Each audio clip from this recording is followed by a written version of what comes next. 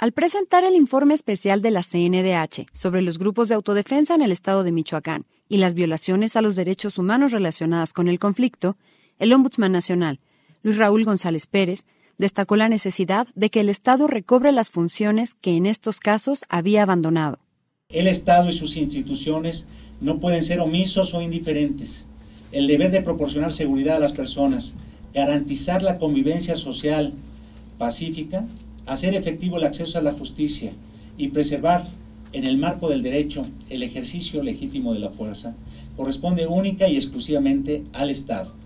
Solo a través de sus instituciones los derechos fundamentales de las personas pueden ser vigentes. Renunciar a ello pone en grave riesgo nuestra vida democrática, así como el respeto a la dignidad de las personas, que es sustento de nuestro orden jurídico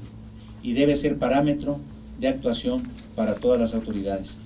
En conferencia de prensa, el presidente de la CNDH afirmó. El reconocimiento, respeto y vigencia de los derechos humanos solo es posible en el marco de un Estado democrático y social de derecho. Por graves que sean las circunstancias, el Estado no puede ceder o negociar el ejercicio de las atribuciones que le son propias,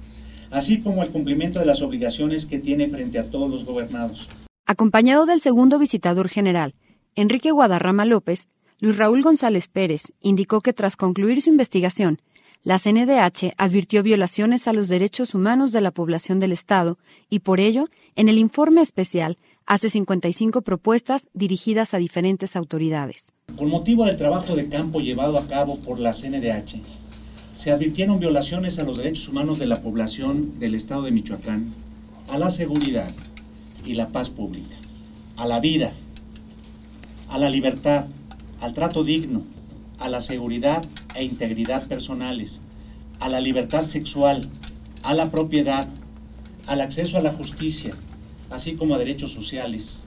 como el derecho a la educación, derivado de un deficiente ejercicio de la función pública a cargo de las autoridades estatales y municipales en contra de la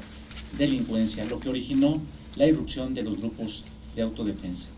El presidente de la CNDH destacó también la necesidad de adoptar medidas de prevención para evitar la repetición de tan lamentables sucesos. Como medida de prevención, para evitar que estos hechos se repitan, se atiendan a la brevedad posible las condiciones de precariedad, exclusión y desigualdad que propiciaron el que esta problemática se presentara. El hacer efectivos los derechos económicos, sociales y culturales de las michoacanas y michoacanos es, sin lugar a dudas, la vía más segura para evitar que las situaciones como las tratadas en este informe especial se presenten en el futuro.